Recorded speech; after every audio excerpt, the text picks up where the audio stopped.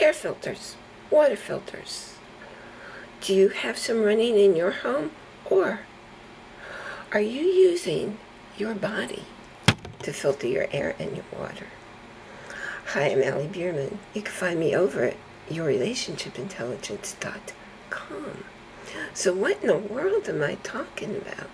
Do you know even in the mountains of Colorado today, you can't find pure, clean air your lungs and your breathing. There's no place on earth that still has clean air. That's how bad the pollution is. It travels all around the planet. And the same's true with the water. You know, I live near New York City, and I find it quite amusing the number of people who believe the marketing telling them we have clean water in New York. I have never been any place in New York City where I didn't get nauseous from somebody turning on a tap or going in a shower because there's so much chlorine in the water. But there are the things you don't smell too the fluoride, the more than 700 chemicals, including pharmaceuticals and all the toxins that get dumped in the water supply. Now, New York City might have cleaner air than other municipalities. It doesn't make it clean. Plus the fact that the water coming into the city can only be as clean as the water towers on each building and the pipes in each building, and the EPA does not have a staff to go around checking all of those for safety.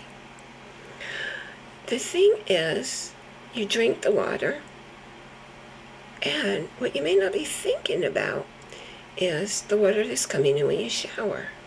There is so much chlorine in your water that a five minute shower gives you the equivalent of drinking eight eight ounce glasses of chlorinated, unfiltered water in a five minute shower. Can you imagine what's going on in your body? But your skin, well, yeah, that's the largest organ, organ in your body, taking all of it in. But what about the air, the vapor, the chlorine that's coming in, the chlorine that's outlawed in Europe? But it's used here because it's a cheaper way to clean water than the safer ways they use there. So you are taking that in through your skin and in through your lungs. But you don't have to do that. You can go get an air filter. You can go get a water filter to make your water safe. You have to be careful. There are a lot of scams out there. A lot of expensive machines that do not filter out all those things. It's pretty hard to find a water filter that gets fluoride, and fluoride's one of the most dangerous chemicals in our environment.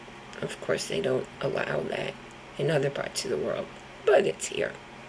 So, that takes care of what's going on with your air and your skin. And if you go down there, there are some links to some of the better air filters. Now, how did I come to realize all this is going on?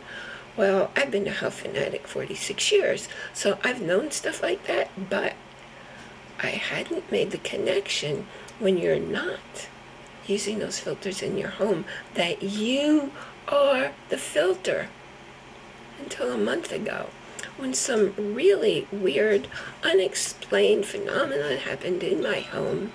No one's been able to figure out the cause including the home inspector who had come out to try and help us solve the mystery. I was suddenly coughing really badly and I was sneezing. I never get sick.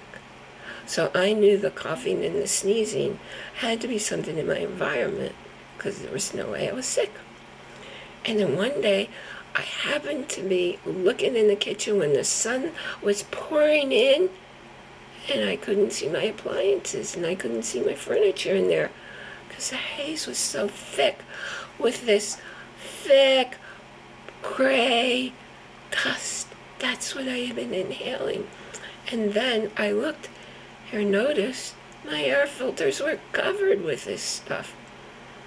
I couldn't change the filter because my filters were so old. They no longer make the replacement filters, but I did find some amazing new filters, and it's been so long since I had purchased mine that you can get a really good one for a really low, reasonable price. So be sure you go down below and check out and invest in your health because here's what happens when you don't invest, you will, as the toxins build up in your body, you will eventually be paying a whole lot more money hoping you can find someone to cure the results of all those toxins that you've been breathing, that you've been allowing in through your skin with soaps and emollients and lotions and potions and whatever you're cleaning your house with.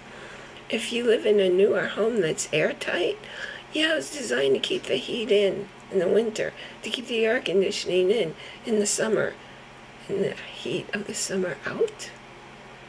But in so doing, it's been trapping in all those toxins. And there's so many things going on that make people sick. One of them could even be mold. And mold toxins are actually more dangerous than the mold that you don't see, that you don't smell, that's going on out of your awareness and out of sight. So there's one more kind of toxin that is just as dangerous and in some ways even more dangerous. And you don't need to buy a machine of any kind to get rid of this kind of toxin. It's energy vampires. It's the people in your life who, when you see them coming down the street, you either duck in a store or cross the sidewalk and hope they don't see you.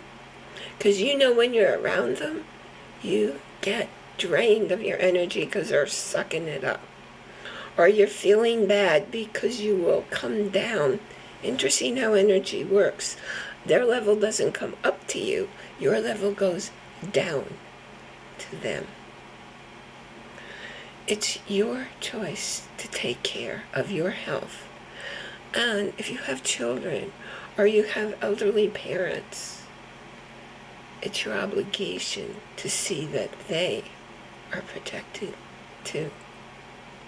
Again, you can find me at yourrelationshipintelligence.com.